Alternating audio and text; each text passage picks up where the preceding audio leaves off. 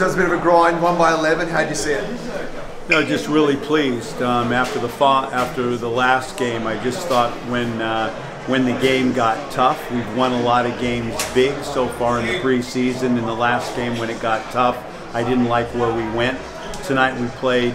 We had a lot of guys out. We were resting tonight, um, three games in that amount of time. So our young bench guys, we gave them a good run, and we talked about um, how to play under pressure, and I thought we did a good job with that tonight. It was it was uh, basket for basket for most of the game, um, and I liked the way we grinded it out defensively, executed in the half court.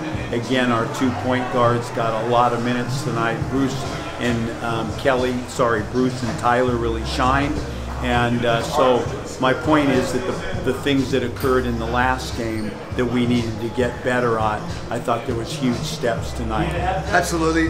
Yeah, you look back on the three games. What are the main takeaways from the Gold Coast trip?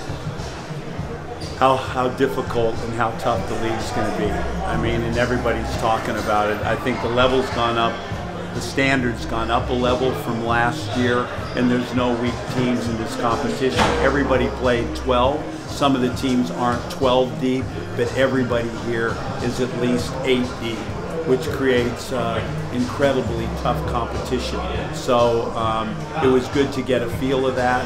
And for us, just again, getting our guys comfortable being on the road together, eating together, um, team meetings, film sessions, just a lot of things that we haven't done together. It's a new staff, a lot of new young players that have never played NBL basketball before. So I feel like we cashed in on our opportunity here, and I think it gave us a good idea of what we're walking into when the season starts. Season does start next week at Hoops Fest against Adelaide. What are the keys we got to work on before then?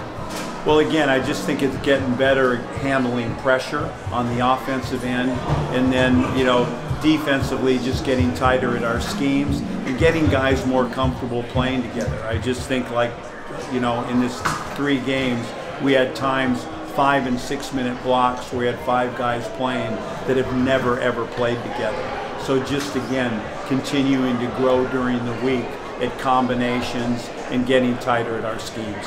Thanks, Goorj.